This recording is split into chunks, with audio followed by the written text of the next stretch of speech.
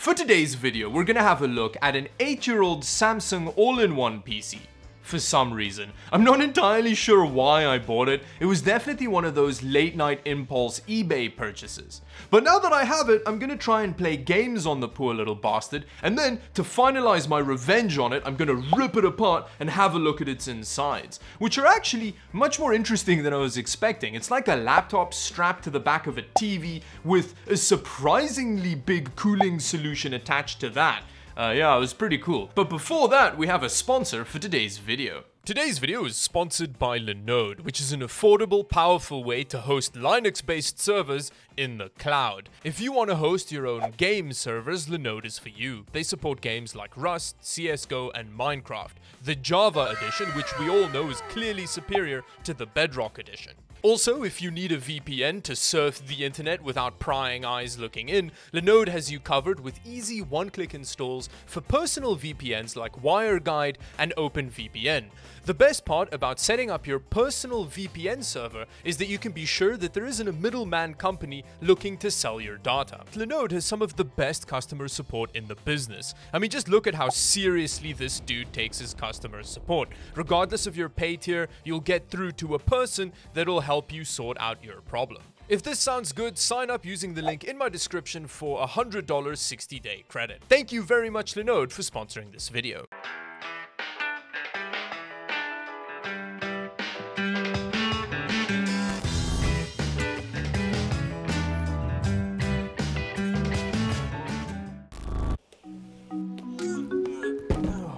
Now I actually have no idea why I bought this 8-year-old all-in-one PC, but I've done a video on like an old iMac, so why not do what is basically the Samsung equivalent of that?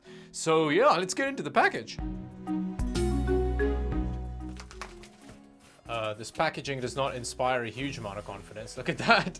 There's like super weak ass foam. Look at that. They shipped it internationally in a box like that. I mean, look at the packaging in here. There's a little bit of foam down there, so that means it should be fine, right? This is the power brick in what looks like a used Ziploc bag. So that's why it smells so much like paint, because it's just like spray painted cardboard box on the inside. Uh, and then we got some peripherals. I think these are the stock Samsung ones, actually. You can see that they were trying real hard to copy Apple with this design, uh, but it's actually not too bad. Although, no, it's pretty gross. The mouse, however, is A-grade e-waste peripheral. It does look suspiciously just like a Samsung TV, but this is actually an all-in-one computer from not super long ago. And it looks pretty good. Apparently this is a touchscreen. I'm assuming this is the 24 inch one because it's definitely not 27 inches. It's way too small for that. Then down here, it's got touch menu controls in the front bottom right. Oh, it's really heavy.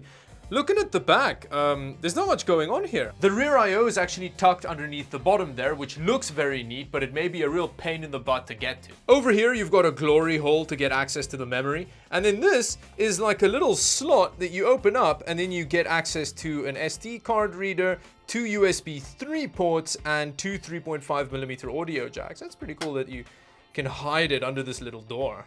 And on this side, it's got a DVD drive, which dates it a little bit. I'm guessing around early Mesozoic period. Under here, we've got I.O., which is way too difficult to access. But, I mean, it looks decent. You've got what looks like a power connector here and then you've got Ethernet, you've got two HDMI, and then three USB. Now, as far as I know, you can actually use this as an external display. So this would be an HDMI in and an HDMI out, which is pretty cool. It was a way for Samsung to guarantee that you can get more use out of this than just the life cycle of the PC hardware inside it.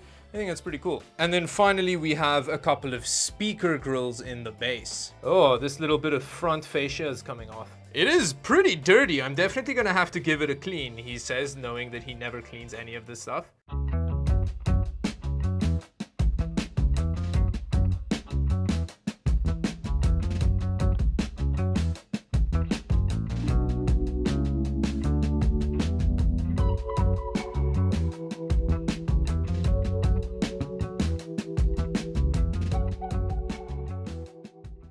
Okay, now let's have a look if it works. Um, I'm not entirely sure what the specs are of this thing, so we're going on a bit of a journey of discovery together.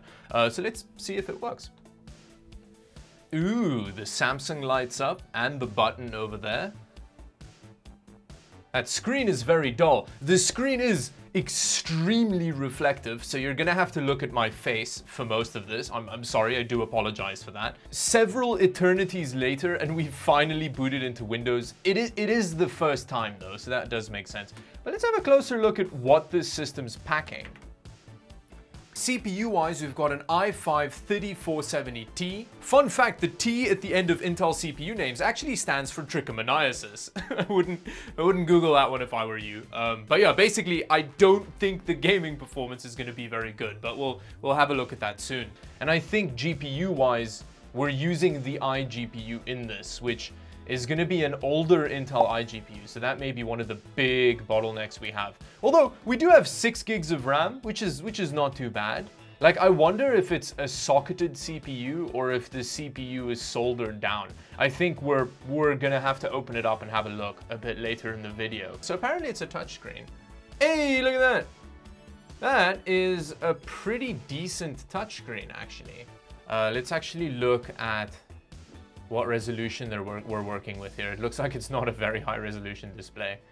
1280 by 1024, no way. That's definitely a limitation of no graphics card drivers installed yet. Let's... Okay, there we go. It is actually a 1080p display. I was about to say, there's no way it's a 1280 by 1020 display. Like, that makes no sense. That looks way better. Okay, so with that, let's let's try and play some games on this bad boy.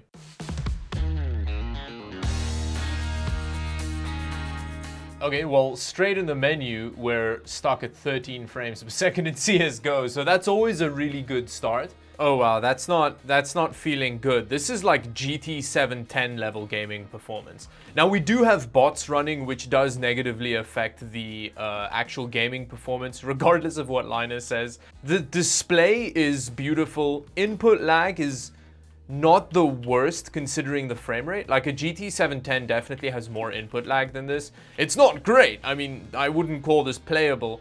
One thing that I will say is that the system is whisper quiet. Like it's not making any noise. We're sitting at about 63, 64 degrees Celsius on the package temperature of the CPU and it's so quiet. It's really impressive. Oh, when it comes to GTA 5, at pretty much the lowest settings at 1080p, it's not going well at all. That little iGPU is just... I don't think struggling is a strong enough word here. Although, we're also clearly running into RAM limitations, right? Because we've only got access to 6 gigs of RAM, and yeah, I think... Oh, that's some of the worst GTA 5 performance I've ever seen in my life. This is definitely Cyberpunk on a PlayStation 4 level gaming experience. Like this is absolutely horrendous. So we've dropped it down to 720p now and um, it's still unplayable. We're still sitting at like just under 20 frames per second average. I mean, that is almost double the... Ah. Okay, so we've dropped it to 800 by 600 and it's really confused the full screen option it, it feels okay. Dota just somehow manages to run on the utmost garbage. Like it really, it really is impressive how well Dota handles these horrendous PCs. Oh, okay. There was actually a noticeable frame drop when we, oh, look at that. Oh no. That, that really tells you a lot about this system that you're hitting in the 40s in Half-Life 2. Look at that, it's just like, we're sitting at less than 40 frames per second. and there's not even much going on at the moment. Like, yeah, it, really is crazy how far these loser iGPUs have come in, in not even that long a time. But with that, let's let's open up this bad boy and see what it looks like inside, because this cooling solution is very impressive. Like I'm right next to it, and it's it's barely audible. It is so quiet while gaming. I, I, I really want to see how they actually achieve that. I'm real excited to tear this open and have a look inside. I'm curious to see how they get it so quiet.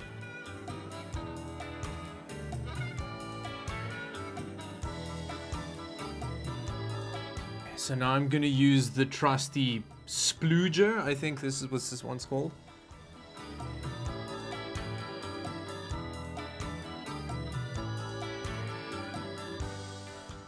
Oh, the oof.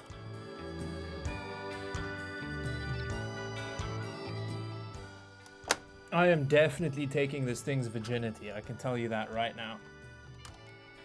I feel like I should be censoring what I'm doing here. Ugh.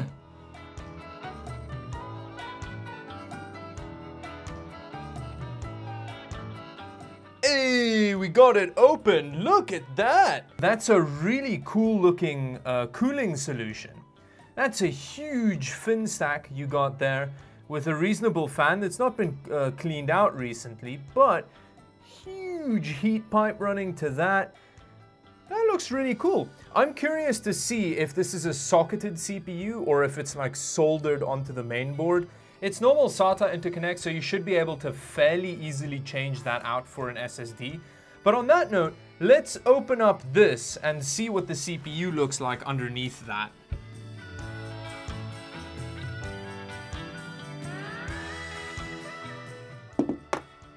Oh, wow, that popped off way more easily than I was expecting it to there.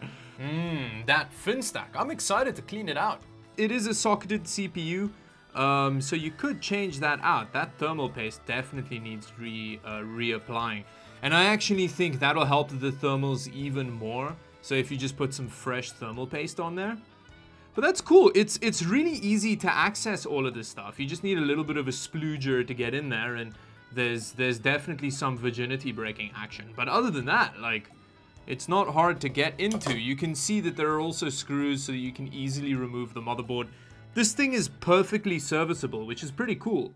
After all of that, I cleaned out the heatsink, the fan, repasted the CPU, put it all back together, and we got more than 10 degrees Celsius lower temperatures on the CPU while running Cinebench, which is pretty cool. Unfortunately, it didn't lead to any performance improvement, which is a bit of a shame.